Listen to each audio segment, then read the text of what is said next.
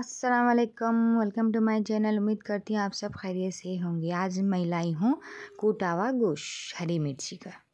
बिस्मिल्लाह रहमान चलो अब हम शुरू करते हैं। पाव किलो गोश्त ले ली। देखिए, मैं अच्छे से धो के रख ली इसे। बहुत अच्छे से बनता है, बहुत ही मज़ेदार बनता है गोश्त ये। देखिए थोड़ी सी कोतमीर पुदीना और हरी मिर्च ली। दस से बारह हरी मिर्च ले ली। देखिए। अदरक, लहसुन का पेस्ट, एक डली मीडियम कलर की काट कर रख ली, प्याज की डली, लौंग ली, दालचीनी ली और काली मिर्च, दो इलायची, दालचीनी, साजीरा, नमक तो टेस्ट के हिसाब से लेना चाहिए आपको, हल्दी ले ली, ये सब लेकर रख लेंगे अपन। ज़रूर मुझे सब्सक्राइब कीजिए मेरे चैनल को मेरे चैनल को ज़रूर लाइक कीजिए। और मेरे चैनल को ज़रूर आगे तक लेके जाए। आप नए हैं तो ज़रूर सब्सक्राइब कीजिए मेरे चैनल को। देखिए, अब मैं इसे ग्राइंड कर लूँगी। डाल लूँगी, उसमें मैं गोश्त डाल लूँगी।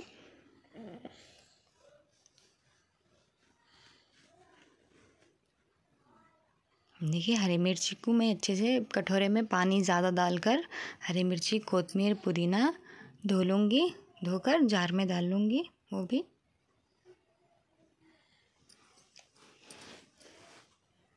देखिए, ऐसा धोना चाहिए, कुछ भी मट्टी कुछ भी रहा तो निकल जाता है, अच्छे से साफ़ धो ले जाता है। अब मैं इसमें डालूँगी अदरक लहसुन का पेस्ट।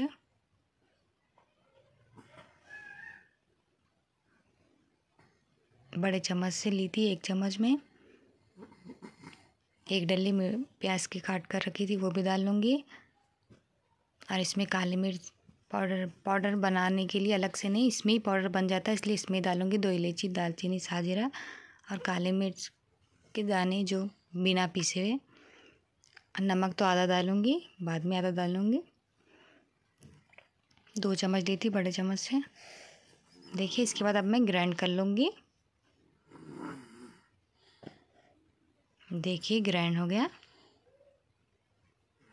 देखिए, कितने अच्छे से हो गया ग्राइंड, कितना ग्रीन ग्रीन लग रहा है ना। इसमें लाल मिर्ची नहीं पड़ती है, सिर्फ़ काली मिर्च पड़ डालना चाहिए इसमें। अब मैं एक पैन लूँगी, उसमें डाल लूँगी जार में से निकाल कर देखिए, सिर्फ़ एक गिलास पानी डालना चाहिए, ज़्यादा नहीं, और पानी गोश्त में से भी छूटता है पानी। अब ये मैं चार इलायची चार से पाँच इलायची और दालचीनी बाद में ऊपर से डाली, क्योंकि तेज़पन आता है उसे, जो नमक रखी थी वो भी डाल लूँगी। हल्दी भी डाल दूँगी एक चम्मच, छोटे चम्मच से। और तेल ज़्यादा डालना चाहिए इसमें, क्योंकि तलने के लिए अच्छा रहता है। ये पल्ली से मैं तीन पल्ली तेल डाली। क्योंकि तलने के लिए अच्छा तले जाता है और कड़क भी तले जाता है तेल से ही। देखिए, अब मैं इसे हिलाऊँगी अच्छे से।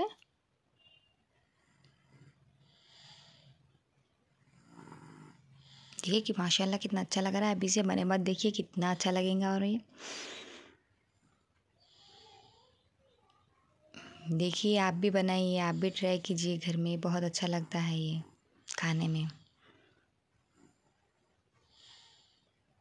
आप नए हैं तो ज़रूर मुझे सब्सक्राइब कीजिए। देखिए, माशाल्लाह कितना अच्छा लग रहा है। देखिए, अभी से।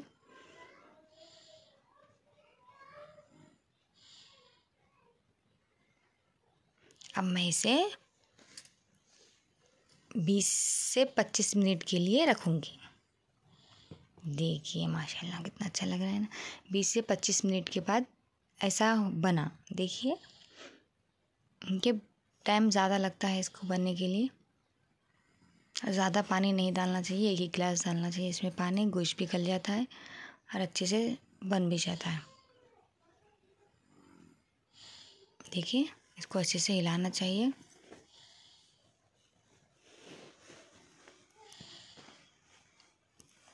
ऐसे तेल में तलना चाहिए गोश्त को। देखिए, कितने अच्छे से बन गया है।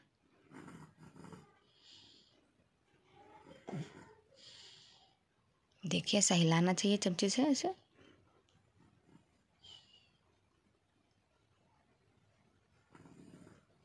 से हिलाकर ऐसा से तलना चाहिए मीडियम में।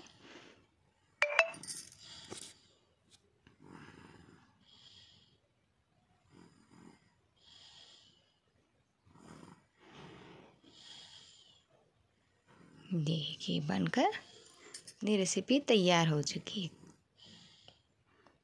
माशाल्लाह, कितना अच्छा लग रहा है ना, देखिए, माशाल्लाह। आप भी घर में ट्राई कीजिए बनाने के लिए। ज़रूर मुझे दुआ में याद रखिए। मुझे ज़रूर मेरे चैनल को सब्सक्राइब कीजिए। देखिए सर्व करी मैं निकाल ली एक प्लेट में। देखिए, इसके ऊपर मैं रखी प्याज और पुदीना। ये डालकर खाने से बहुत ही अच्छी लगती है ये रेसिपी। देखिए, आप भी घर में ट्राई कीजिए, बनाइए और मुझे दुआ में ज़रूर याद रखिए। मेरे चैनल को ज़रूर आगे तक लेके जाइए, मुझे सपोर्ट कीजिए। और मैं नए नए रेसिपी के संग फिर हाजिर होंगे अल्लाह हाफिज़